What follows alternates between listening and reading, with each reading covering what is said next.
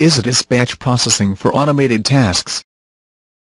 The short video shows you how a workflow in Isatis can easily be recorded and rerun using Isatis Batch Processing. Recording a workflow, called journal file in Isatis, is essential for speeding up repetitive tasks, such as grade estimation, as new data becomes available, setting a specific or advanced workflow in Isatis, which can be run by colleagues less experienced with the software, or in geostatistics. Isatis batch processing makes use of so-called journal files, which memorize the different steps and parameters of an Isatis working session. A journal file is an ASCII file made of a succession of bulletins. Each action, or calculation performed in Isatis corresponds to a unique bulletin. This ASCII file defines the successive actions you need to perform during an Isatis working session, and all the relevant parameter values.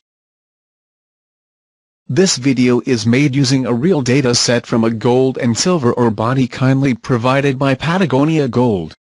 For the demo, a standard geostatistics workflow is applied on this data set. Now, let's see how to record a workflow in a journal file. Let's start with the record of our workflow in a journal file. In our example, the workflow includes the following actions in Isatis. First, drill hole data import. Second, wireframe import for data selection. Third, variography. Fourth, grade estimation. And last, display of the results. This is a demonstration video. The focus is put on how to use the journal files in batch mode not on the parameters selection. Therefore, in this video, all Isatis panels are pre-filled with adapted parameters. We begin by defining the journal file that will store our workflow. In the Isatis main window, we click on the Batch and Workflows menu, and select the record journal file to open the corresponding panel. A window pops up, and we give a name to the journal file, in our case the name is My Journal File. Select a record mode, we select the automatic mode. The File Info section lets you know which is the last bulletin you've just saved in your journal file and the total number of bulletins already saved in your journal file. To keep being informed of what we are doing, we will keep this panel open to the side of our screen. Now that the journal file is set up, we can start recording the workflow. Let's begin with the data import. In the Isatis main window, we click on File, Import, and select ASCII. Once we have chosen the ASCII file we want to import and the corresponding header, we click on the Import button to load the data into Isatis. The first bulletin is written in our journal file. We now import the wireframes, using File, Import, AutoCAD. Once the parameters are set up, we click on Import to load the wireframes into Isatis the bulletin is added to our journal file. For the further panels, the principle will be the same. Each time we click on Run or import the bulletin is added to the journal file.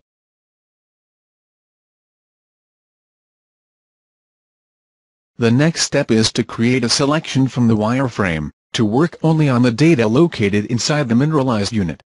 From Isatis main interface, we click on File, Selection from a wireframe, once we are happy with the parameters, we click on the Run button to create the selection. In the Isatis 3D viewer, we can easily check the data we've imported.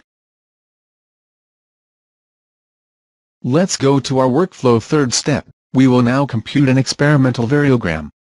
We click on Statistics, Exploratory Data Analysis to open the corresponding panel we click on the variogram icon to display the experimental variogram. To save our experimental variogram, we press Application, Save in Parameter File, to save it. Once we have given a name to our experimental variogram, we click on the Save button.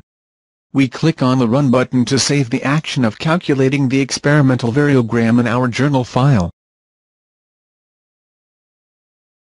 Now, we fit the variogram model, we click on Statistics, Variogram Fitting. Once the parameters are set up, and the model well adjusted, we click on Run Save to compute and save the variogram model.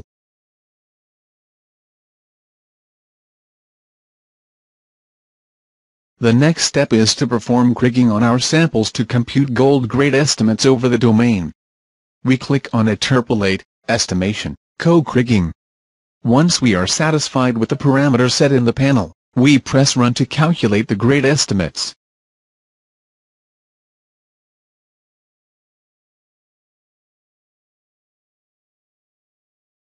Finally the last step is the 2D display of the results. If we are happy with the 2D display, we can save the display and its related parameters to the journal file. In the graphic window, we click on Application, Batch. It is possible to choose whether the batch procedure will print this graphic page and or save it as an Isatis graphic file. We click on Save Action in Journal File to save these parameters and the current action in the journal file.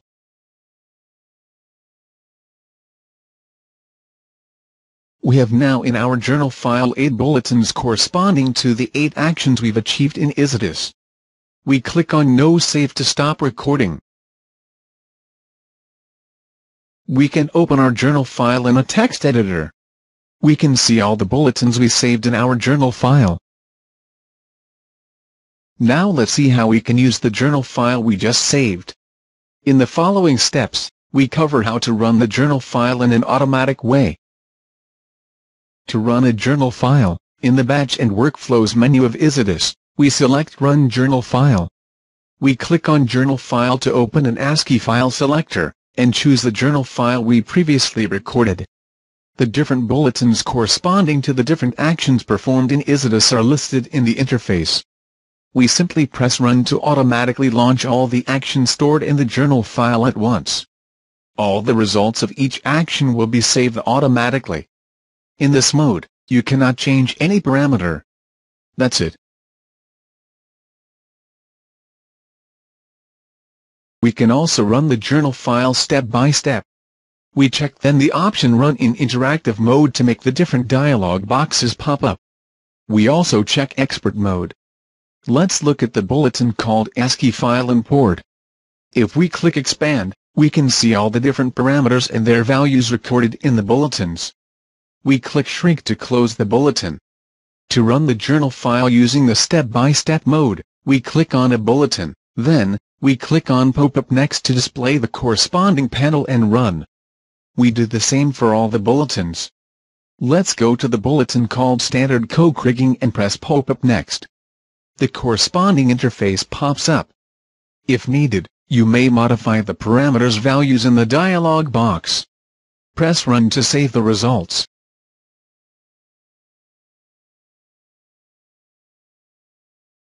Let's continue with additional information about the journal file. A journal file can be edited and modified. To do so, we click on Batch and Workflows, then, Edit Journal File. We click on Journal File to select the journal file to be modified. In this example, we are going to change the name of a graphic page. We select the bulletin we want to modify, and click on the Expand button. Then, we select the parameters to modify. Here, the name of the final graphic display. We make the changes in the Value section and press Modify to apply, then, Close to close the window. We click on Save to save the modifications.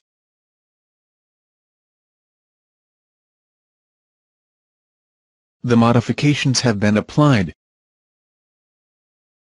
In the journal file, we may also introduce instructions such as loops to repeat a task and to gain time. We press Run to launch the journal file.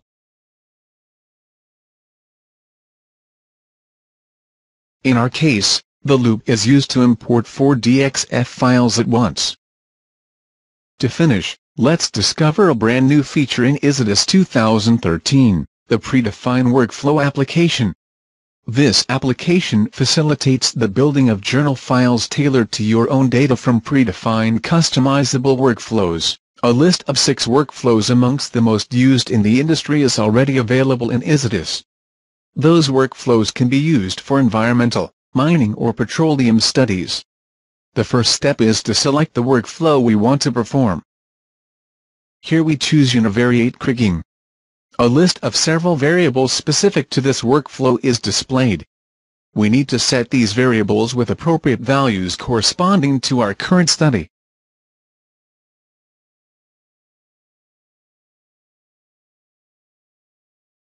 Then, we give a name to the journal. At creation of the journal file all the bulletins are pre-filled with the input and output variables from our study. The last step is to use the Run Journal File panel to load and run the customized journal file using the pop-up next mode as shown previously in the video. Using this mode, you will be able to adjust the major parameters in each panel. You have seen that Isatis allows task automation in an efficient way. Whether you start from your own record, or from Isatis predefined workflows, Isatis lets you build the workflow you need, adapted to your own data. Isatis also goes further by allowing you to register the run of a journal file in a so-called audit file which records all the actions and parameters entered while executing the workflow to ensure full transparency of the computation. Your benefits using the Isatis batch processing are, first, auditability. Your calculations can easily be reviewed by an auditor as each action and each parameter is recorded. Second, transparency. In the same way, you can easily report the results of a specific sequence. Third, task repeatability and time saving. You can easily repeat the same calculations on different grade variables or geological domains. You can also test the sensitivity of your estimates to the input modeling parameters changes. And last, knowledge transfer. A journal file created by an experienced user can be rerun when new data become available or adapted to other projects by less experienced colleagues. For more information, please contact GeoVariances at info at geovariances.com or visit our website www.geovariances.com.